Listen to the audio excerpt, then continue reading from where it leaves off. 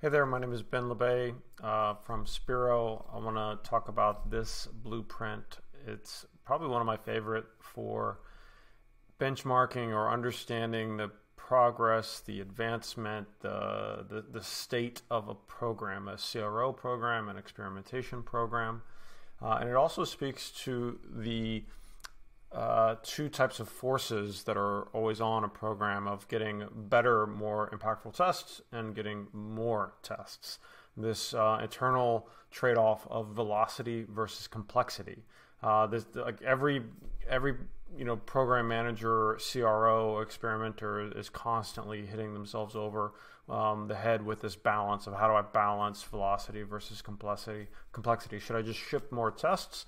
uh, not worry about test quality, or should I uh, really focus on the bigger, bolder, uh, more complex things um, that I'm messing with? And so this is a way to look at it and a way to balance it. I think that you always want to be moving up and to the right.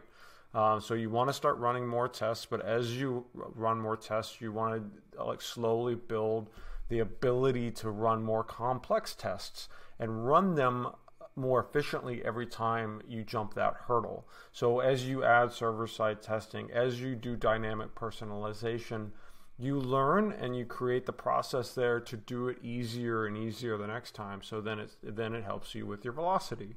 Uh, what's cool here is that this uh, blueprint is connected with the results versus action blueprint, which is when you run a test, what what do you get as a result? uh, and what action do you take on the result side you can you can win you can lose you can it can be flat or you can have an error usually when there's an error it's connected to it's because you pushed on complexity which is a good thing. So that error should map explicitly to this y-axis of te test complexity. And you should start listing out like why you got that error. Like we're adding metrics that we didn't um, sort of understand or we didn't account for and, and, they sort of failed within the test setup. Um, you know we, we, we QA'd but we didn't account for this weird segment or browser um, that we now need, know we need to, to do. So you're adding complexity as you're uh, and you're accounting for the complexity and you're learning about it as you're you know failing. You know you're learning as you're failing. Um, so it's cool. So this is one of my favorites, and because it's, it's combined with um, that that results versus action blueprint as well. Um, cool. I hope this makes sense. If, uh, reach out, please, if uh, on thoughts. You can find me on LinkedIn. Uh, you can find these blueprints on Speero.com. Um, reach out, um, join the conversation. Let's improve these together. Thank you.